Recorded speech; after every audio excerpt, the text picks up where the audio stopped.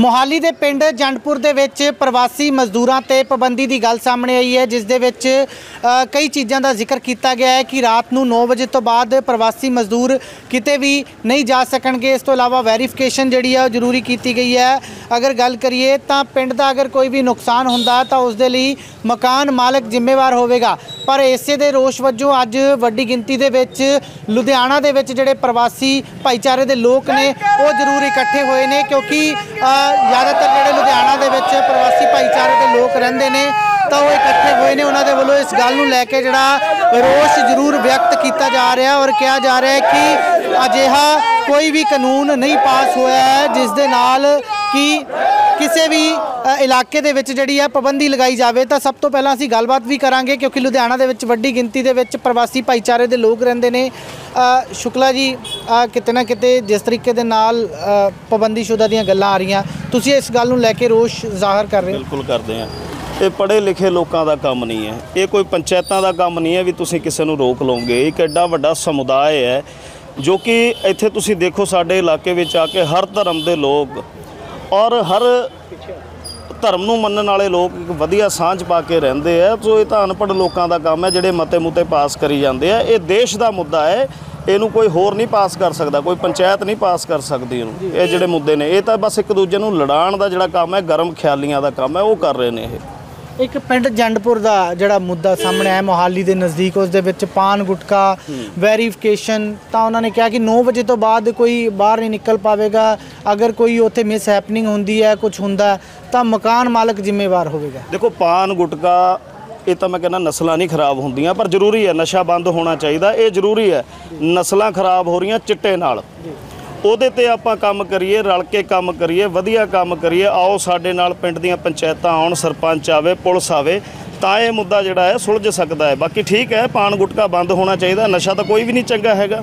ਆਪਾਂ ਇਹਨੂੰ ਕੋਈ ਵਧੀਆ ਨਹੀਂ ਮੰਨਦੇ ਅਸੀਂ ਇਹਦੇ 'ਚ ਨਾਲ ਆ ਪਰ ਸਭ ਤੋਂ ਵੱਡੀ ਗੱਲ ਜਦੋਂ ਦੇਸ਼ ਦੇ ਵਿੱਚ ਸਾਡੇ ਦੇਸ਼ ਦੇ ਜਿਹੜੇ ਐਕਟਰ ਨੇ ਕਲਾਕਾਰ ਨੇ ਬਾਲੀਵੁੱਡ ਦੇ ਕਲਾਕਾਰ ਨੇ ਜਦੋਂ ਇਹਦਾ ਪ੍ਰਚਾਰ ਕਰਦੇ ਆ ਉਹਦਾ ਉਹਨਾਂ ਦੇ ਖਿਲਾਫ ਕਿਉਂ ਨਹੀਂ ਸ਼ਿਕਾਇਤ ਹੁੰਦੀ? ਉਹਨਾਂ ਦੇ ਖਿਲਾਫ ਕਿਉਂ ਨਹੀਂ ਧਰਨਾ ਲਗਾਉਂਦੇ? ਉਹਨਾਂ ਨੂੰ ਕਿਉਂ ਨਹੀਂ ਘੇਰਦੇ? ਉਹਨਾਂ ਨੂੰ ਘੇਰ ਕੇ ਸਵਾਲ ਪੁੱਛੋ। ਜਦੋਂ ਵੀ ਦੇਖੋ ਇੱਕ ਛੋਟੇ ਬੰਦੇ ਨੂੰ ਟਾਰਗੇਟ ਕਰ ਲਿਆ ਜਾਂਦਾ ਜਾਂ ਕਿਸੇ ਸਮੁਦਾਇ ਨੂੰ ਟਾਰਗੇਟ ਕਰ ਲਿਆ ਜਾਂਦਾ ਉੱਥੇ ਆਪਣੀ ਰਾਜਨੀਤੀ ਚਮਕਾ ਕੇ ਅਗਲਾ ਆਪਣੇ ਘਰੇ ਵੜ ਜਾਂਦਾ ਹੈ। ਤੇ ਦੇਸ਼ ਦਾ ਮਾਹੌਲ ਜਿਹੜਾ ਹੈ ਉਹ ਖਰਾਬ ਹੋ ਜਾਂਦਾ ਹੈ। ਇੱਕ ਜ਼ਮੀਨ ਖਰੀਦਣ ਨੂੰ ਲੈ ਕੇ ਵੀ ਸਾਹਮਣੇ ਆ ਰਿਹਾ ਹੈ। ਅਗਰ ਜ਼ਮੀਨ ਖਰੀਦਦੇ ਆ ਤਾਂ ਉਹ ਕਮਰਾ ਨਹੀਂ ਕੋਈ ਬਣਾ ਸਕਦੇ। ਦੇਖੋ ਜੀ ਆਪਾਂ ਇੱਕ ਉਸ ਦੇਸ਼ 'ਚ ਰਹਿ ਰਹੇ ਹਾਂ, ਜਿੱਥੇ ਜੋ ਸੰਵਿਧਾਨ ਲਿਖਿਆ, ਜੋ ਅੰਬੇਡਕਰ ਜੀ ਨੇ ਸੰਵਿਧਾਨ ਲਿਖਿਆ, ਉਹਦੇ ਵਿੱਚ ਸਾਰਿਆਂ ਨੂੰ ਬਰਾਬਰ ਦਾ ਅਧਿਕਾਰ ਮਿਲਿਆ। ਤੇ ਇਹ ਇੱਕ ਦੇਸ਼ ਸਭ ਦਾ ਦੇਸ਼ ਆ।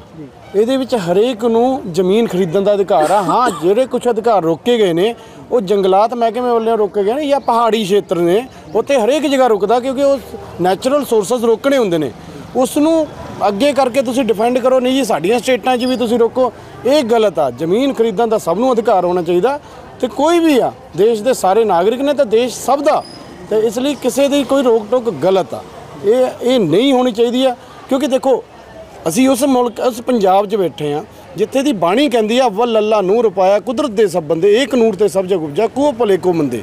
ਤੇ ਜੇਕਰ ਅਸੀਂ ਇਸ ਗੱਲ ਦੇ ਵਿੱਚ ਭੇਦਭਾਵ ਚਾਹੁੰਦੇ, ਤਾਂ ਜਿਹੜੀ ਪੰਜਾਬ ਦੀ ਅਸਲੀ ਰੂਹਾਨੀਅਤ ਆ, ਅਸਲ ਪੰਜਾਬ ਆ ਉਹਨੂੰ ਖਤਮ ਕਰਨ ਦੇ ਵਿੱਚ ਖੁਦ ਪੰਜਾਬੀ ਇਨਵੋਲਵ ਹੋ ਰਹੇ ਨੇ।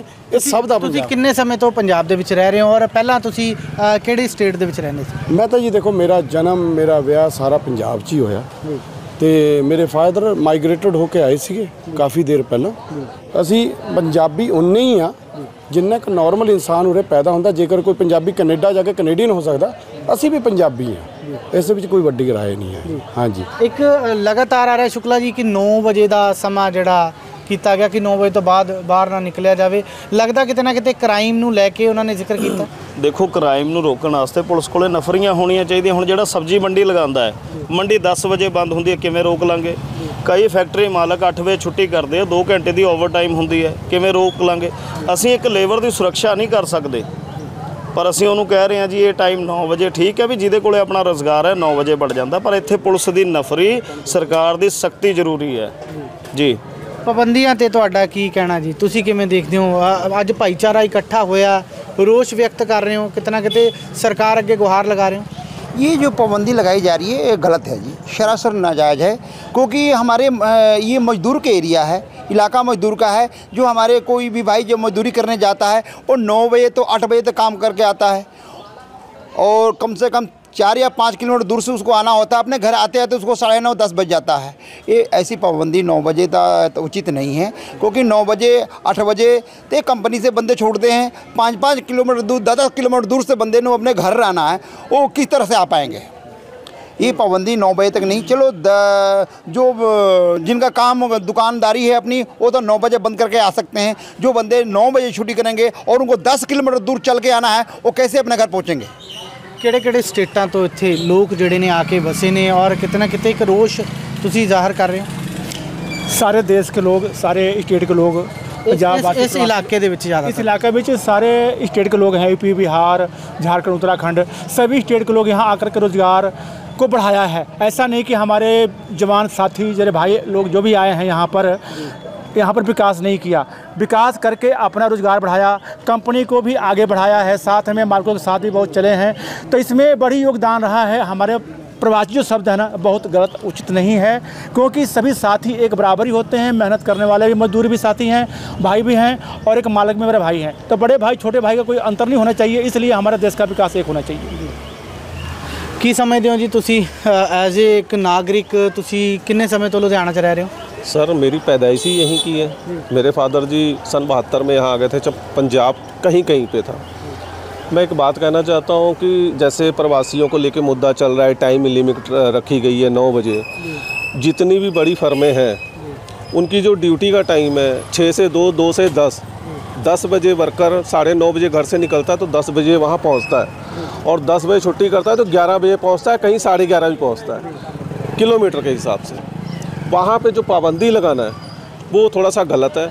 और मैं एक बात और आपको कह देना चाहता हूँ जो पंजाब की इंडस्ट्री है उसमें हमारे यूपी बिहार के लोगों की इंडस्ट्री बहुत है। लुधियाना तो सब तो वाद ज़्यादातर प्रवासी भाईचारा रहता है। हाँ परिवार भाईचारा रहता है। दूसरी बात मैं एक चीज़ और कहना चाहता हूँ टैक्स रेवेन्यू में हमारे पूर्वांचलों का भी पूरा सहयोग है गवर्नमेंट उसको नाकार नहीं सकती ये जो आज पंजाब बसा हुआ है ਗਵਰਨਮੈਂਟ ਦਾ ਫੈਸਲਾ ਨਹੀਂ ਹੈ ਜਿਸ ਤਰੀਕੇ ਨਾਲ ਆ ਰਿਹਾ ਸਾਹਮਣੇ ਕੁਝ ਪਿੰਡਾਂ ਦੇ ਵਿੱਚ ਮਤੇ ਪਾਏ ਜਾ ਰਹੇ ਨੇ ਜਿਵੇਂ ਇੱਕ ਮੋਹਾਲੀ ਦਾ ਜ਼- ਅ, ਜ਼ਿਕਰ ਕੀਤਾ ਹੈ ਕਿ ਮੋਹਾਲੀ ਦਾ ਇੱਕ ਪਿੰਡ ਆ ਉੱਥੇ ਅ, ਇੱਕ ਮਤੇ ਦੀ ਗੱਲ ਆ ਰਹੀ ਹੈ ਕਿ ਉੱਥੇ ਪਾਇਆ ਗਿਆ अ, जैसे कि आपको पता ही होगा कि ये सरकार जो है ना ये आप मत सोचिए कि पिंडों का लोगों का अपना ओपिनियन है। ऐसा कुछ नहीं। ये आम आदमी की पार्टी का ओपिनियन है। उन लोगों ने ना लोगों के दिमाग में भर दिया कि ये प्रवासी लोग आके यहाँ पे लूट पाट करते हैं। ये गंदे काम करते हैं लेकिन सही मायने में देखा जाए तो हर वर्ग में कहीं ना कहीं आपको ऐसे इंसान मिलेंगे उसके लिए एक आदमी के लिए आप सारे समाज को दोषी नहीं ठहरा सकते ਅ, ਸ਼ੁਕਲਾ ਜੀ ਕਿਤੇ ਨਾ ਕਿਤੇ ਹੁਣ ਤੁਸੀਂ ਅ, ਰੋਸ਼ ਵਿਅਕਤ ਕੀਤਾ ਕੋਈ ਹਾਇਰ ਅਥਾਰਟੀ ਨੂੰ ਜਾਂ ਕਿਸੇ ਮੰਤਰੀ ਨੂੰ ਕੋਈ ਗੱਲਬਾਤ ਕੀਤੀ ਜਾਵੇਗੀ ਤੁਹਾਡੇ ਵੱਲੋਂ ਕਿਉਂਕਿ ਅ, ਜਿਸ ਤਰੀਕੇ ਨਾਲ ਤੁਸੀਂ ਪਹਿਲਾਂ ਵੀ ਇੱਕ ਆਵਾਜ਼ ਚੁੱਕੀ ਸੀ ਹੂੰ ਦੇਖੋ ਬਿਲਕੁਲ ਗੱਲ ਕੀਤੀ ਜਾਏਗੀ ਅਸੀਂ ਬਿੱਟੂ ਸਾਹਿਬ ਨਾਲ ਵੀ ਗੱਲ ਕਰਾਂਗੇ ਸਾਡੇ ਸੰਪਰਕ 'ਚ ਮਨੋਜ ਤਿਵਾਰੀ ਜੋ ਕਿ ਦਿੱਲੀ ਵਿੱਚ ਰਹਿ ਰਹੇ ਨੇ ਰਵੀ ਕਿਸ਼ਨ ਸ਼ੁਕਲਾ ਜੀ ਜੋ ਮੌਜੂਦਾ ਐਮਪੀ ਨੇ ਗੋਰਖਪੁਰ ਤੋਂ, ਉਹਨਾਂ ਨਾਲ ਵੀ ਗੱਲ ਕਰਾਂਗੇ। ਦੇਖੋ, ਇਹਨਾਂ ਨੇ ਮਤਾ ਤਾਂ ਪਾਸ ਕਰਤਾ ਪਿੰਡ ਵਾਲਿਆਂ ਨੇ, ਹਨਾ? ਇਹਦੇ ਵਿੱਚ ਸਰਪੰਚ ਸਾਹਿਬ ਨੇ ਜਿਹੜੇ ਉੱਥੋਂ ਦੇ ਉਹ ਮੈਨੂੰ ਲੱਗਦਾ ਸੂਝਵਾਨ ਹੋਣਗੇ, ਜਸਪਾਲ ਸਿੰਘ ਜੀ ਸਰਪੰਚ ਨੇ, ਉਹਨਾਂ ਨੇ ਕਿਹਾ, ਦੇਖੋ ਜੀ, ਮਤਾ ਤਾਂ ਪਾਸ ਹੋ ਗਿਆ, ਪਰ ਇਹ ਲਾਗੂ ਨਹੀਂ ਹੋ ਸਕਦਾ, ਕਿਉਂਕਿ ਦੇਸ਼ ਦਾ ਮੁੱਦਾ ਹੈ।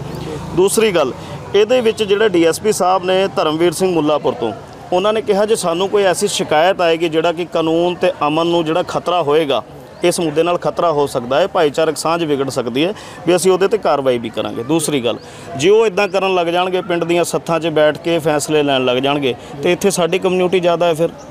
ਫਿਰ ਅਸੀਂ ਵੀ ਕੋਈ ਐਸੇ ਫੈਸਲੇ ਪਰ ਅਸੀਂ ਇਹ ਕੰਮ ਨਹੀਂ ਕਰਾਂਗੇ। ਅਸੀਂ ਪੜ੍ਹੇ ਲਿਖੇ ਲੋਕ ਆ ਮਿਹਨਤਕਸ਼ ਲੋਕ ਆ ਅਸੀਂ ਦੇਸ਼ ਨੂੰ, ਮੈਂ ਖੁਦ ਇੱਥੇ ਜੰਮਿਆ ਪਲਿਆ ਮੈਂ ਪੰਜਾਬ ਦਾ ਜੰਮਿਆ ਪਲਿਆ ਮੈਂ ਪੰਜਾਬੀ ਆ ਅਸੀਂ ਇਹਨੂੰ ਆਪਣੀ ਸਟੇਟ ਨੂੰ ਅੱਗੇ ਵਧਾਵਾਂਗੇ ਐਸੇ ਕੰਮ ਕਰਾਂਗੇ ਜਿਹਦੇ ਨਾਲ ਸਾਡੀ ਸਟੇਟ ਦਾ ਨਾਮ ਰੌਸ਼ਨ ਪਰ ਹੋਵੇ ਕ੍ਰਾਈਮ ਨੂੰ ਲੈ ਕੇ ਕਿਤੇ ਨਾ ਕਿਤੇ ਉਹ ਆਵਾਜ਼ ਚੁੱਕ ਰਹੇ ਨੇ ਕਿ ਲਗਾਤਾਰ ਕ੍ਰਾਈਮ ਵੱਧ ਰਿਹਾ ਦੇਖੋ ਕੀ ਕ੍ਰਾਈਮ ਮੰਨਦੇ ਹੋ? ਕ੍ਰਾਈਮ ਇਹ ਹੈ ਕਿ ਜਦੋਂ ਸਟੇਟ ਦੀ ਆਬਾਦੀ ਹੈ ਨਾ ਉਹ ਸਰਕਾਰ ਦਾ ਕੰਮ ਹੈ। ਸਰਕਾਰ ਦਾ ਕੰਮ ਹੈ ਤਾਂ ਪੁਲਿਸ ਦਾ ਕੰਮ ਹੈ। ਜਦੋਂ ਪੁਲਿਸ ਕੋਲੇ ਨਫਰੀਆਂ ਨਹੀਂ ਹੈ ਤਾਂ ਉਹ ਸਰਕਾਰ ਫੇਲ ਹੈ। ਉਹ ਨਾਗਰਿਕ ਨਹੀਂ ਫੇਲ ਹੈਗੇ ਕਿਉਂਕਿ ਦੇਖੋ ਸਾਡਾ ਜਿੱਥੇ ਸਮਰਥਨ ਹੁੰਦਾ ਅਸੀਂ ਵੋਟ ਦਿੰਨੇ ਆ ਟੈਕਸ ਦਿੰਨੇ ਆ ਫਿਰ ਅਸੀਂ ਰੋਜ਼ਗਾਰ ਨੂੰ ਵੀ ਵਧਾਉਂਦੇ ਆ ਪੰਜਾਬ ਦਾ ਨਾਮ ਵੀ ਕਰਦੇ ਆ ਤੇ ਉਹ ਸਰਕਾਰ ਫੇਲੀਅਰ ਹੈ, ਇੱਥੇ ਨਾਗਰਿਕ ਨਹੀਂ ਫੇਲੀਅਰ ਹੈ। ਤੁਸੀਂ ਯੂਪੀ ਦੇ ਵਿੱਚ ਲੈ ਲਓ। ਮੈਂ ਯੂਪੀ ਨਾਲ ਤੁਲਨਾ ਕਰਦਾ, ਪੰਜਾਬ ਦੀ ਉੱਥੇ ਕ੍ਰਾਈਮ ਹੁੰਦਾ 5 ਮਿੰਟ ਦੇ ਵਿੱਚ ਉੱਥੇ ਰਿਐਕਸ਼ਨ ਹੁੰਦਾ ਹੈ। ਬੁਲਡੋਜ਼ਰ ਚੱਲਦਾ ਕਿ ਨਹੀਂ ਚੱਲਦਾ? ਅਪਰਾਧੀਆਂ ਵਿੱਚ ਖੌਫ ਹੈ ਕਿ ਨਹੀਂ ਹੈ? ਮਹਿਲਾਵਾਂ 11 ਵਜੇ ਤੱਕ ਘਰੋਂ ਬਾਹਰ ਨਿਕਲਦੀਆਂ ਕਿ ਨਹੀਂ ਨਿਕਲਦੀਆਂ? ਸੋ ਇਹ ਸਰਕਾਰ ਦਾ ਕੰਮ ਹੈ। ਸਰਕਾਰ ਸਖਤੀ ਕਰੇ। ਇੱਥੇ ਸਾਡਾ ਕੋਈ ਦੋਸ਼ ਨਹੀਂ ਹੈ। ਔਰ ਨਾਲੇ ਜਿਹੜਾ ਅਪਰਾਧੀ ਹੁੰਦਾ ਹੈ ਅਪਰਾਧੀ ਦੀ ਕੋਈ ਜਾਤ ਨਹੀਂ ਹੁੰਦੀ ਅਪਰਾਧੀ ਦਾ ਕੋਈ ਧਰਮ ਨਹੀਂ ਹੁੰਦਾ। ਇਸ ਕਰਕੇ ਕਦੇ ਵੀ ਇੱਕ ਸਮੁਦਾਇ ਨੂੰ ਅੱਜ ਮੰਨ ਲਓ ਤੁਸੀਂ ਕਹਤਾ ਜੀ ਯੂਪੀ ਬਿਹਾਰ ਵਾਲੇ ਕ੍ਰਿਮੀਨਲ ਨੇ ਕੱਲ ਨੂੰ ਕਿਸੇ ਹੋਰ ਸਮੁਦਾਇ ਦਾ ਕੋਈ ਗਲਤ ਕੰਮ ਕਰ ਦਿੰਦਾ ਹੈ ਤੁਸੀਂ ਉਹਨੂੰ ਵੀ ਕਹਿ ਦੋਗੇ। ਸੋ ਇਹ ਲੜਾਉਣ ਦਾ ਤੇ ਤੋੜਨ ਦਾ ਕੰਮ ਹੈ ਇਹ ਨਹੀਂ ਕਰਨਾ ਚਾਹੀਦਾ ਹੈ।